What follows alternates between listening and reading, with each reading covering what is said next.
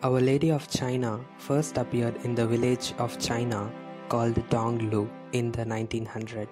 In that village of Donglu, there was a small impoverished mission which was founded by Vincentian fathers, and this mission was the home to 700 to 1000 Christians who lived in this village. In the year of 1900, in the month of June, 40,000 Boxers attacked the small village and the Boxers attacked four times and was defeated by the Christians and the 9000 refugees who was organized for defense. But the Boxers didn't give up.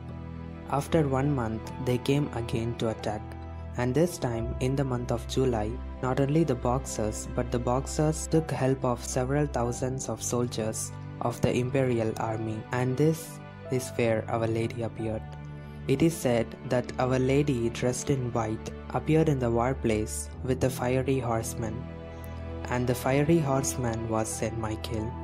That is, Our Lady came with Saint Michael who appeared as a fiery horseman. By seeing them, the Boxers and the army frightened and ran away with great fear.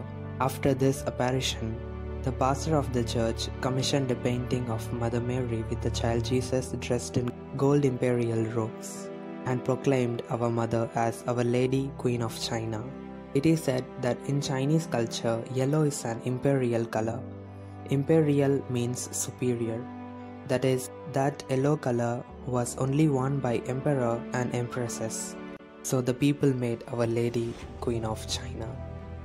So this was the small history of Our Lady of China, who gave apparition to save her people, to save her children as a loving mother.